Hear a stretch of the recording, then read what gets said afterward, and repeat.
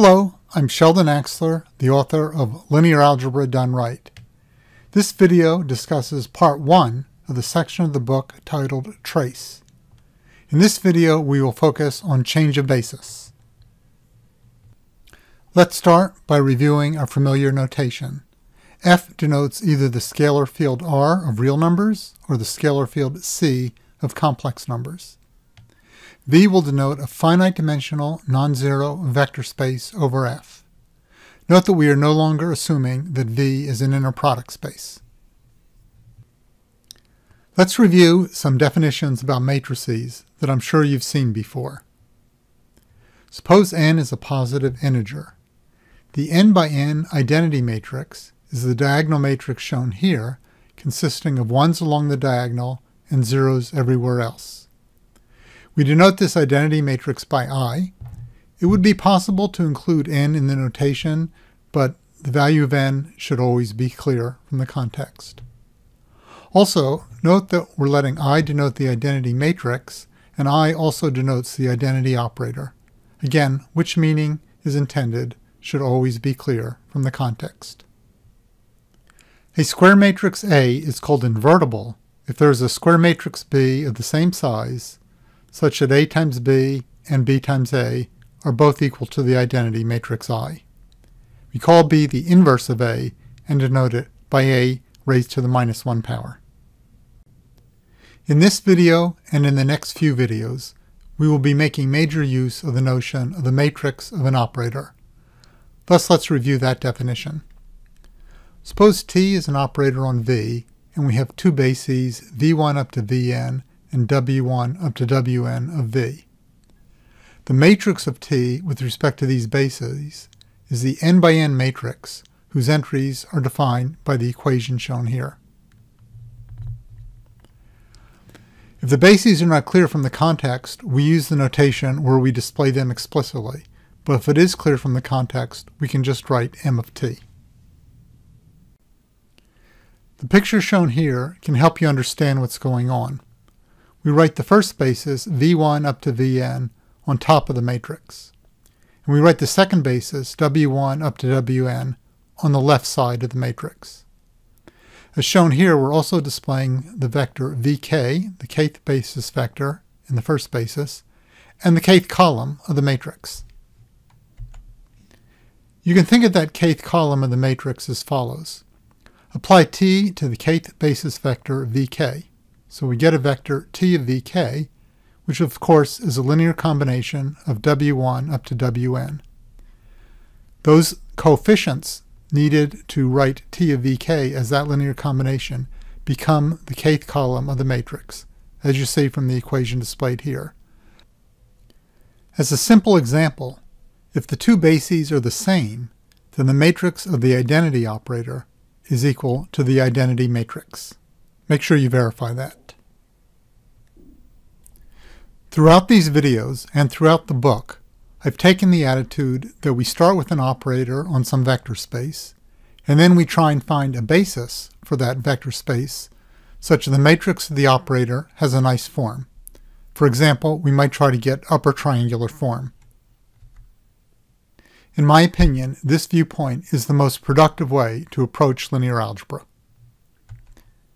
But now we need to shift our viewpoint a little bit and think about how the matrix of an operator changes as we change bases.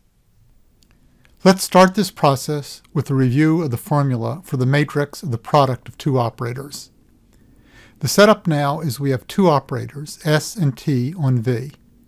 And we have three bases, U1 up to UN, V1 up to Vn, and W1 up to Wn.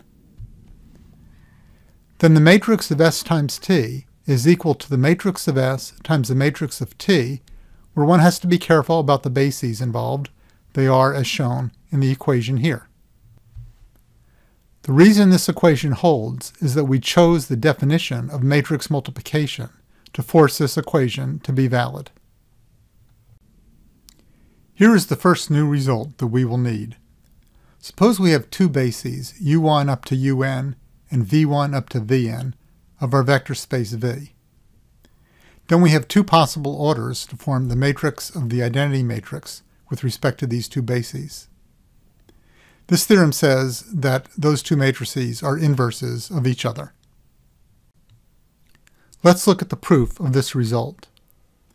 In the equation above, replace the wj's with the uj's. To help you see what's going on, the wj's are now in red, and in a second they're going to change to uj's.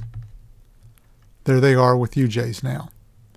Now make another substitution in the equation above. Replace s and t both with i, the identity operator. Right now the s and t are in red, and in a second they will both turn to i's. Now we have a new formula, and if we think about that, on the left side we have the matrix of the identity with respect to uh, the bases u1 up to un, and the second basis also u1 up to un. So on the left side we get the identity matrix. And then I've just repeated what we get on the right side below, now in red. If we interchange the roles of the u's and the v's, we get the product in the other order. This proves the result that these two matrices are matrix inverses of each other. Now we are ready to prove the change of basis formula. We'll start by redisplaying the formula for the matrix of the product of two operators, because we will need to use it a few times. Here is the change of basis formula. Suppose we have an operator t on our vector space V. And suppose we also have two bases of V, u1 up to un and v1 up to vn.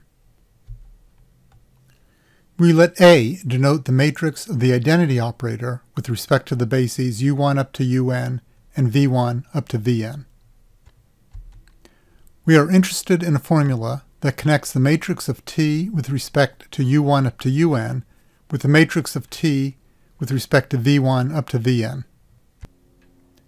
Notice that for the last two matrices, we only mentioned one basis for each matrix. That means we are using that basis for both slots with respect to that matrix. Here's the formula. The matrix of T with respect to the basis u1 up to un is equal to A inverse times the matrix of T with respect to the basis v1 up to vn times the matrix A. Thus this formula gives us a very nice way to get from the matrix of T with respect to one basis to the matrix of T with respect to another basis. Let's look at the proof of this formula. In the result above, replace the WJs with the UJs. The WJs are highlighted in red right now, so you can focus on them, but in a second they will be replaced with UJs. There we go. Now they've turned into UJs. And now replace the S above, there are actually two cases of it, with the identity operator I. So the ST will become just T, and the S in red will become I. There we go. Both of those changes have been made.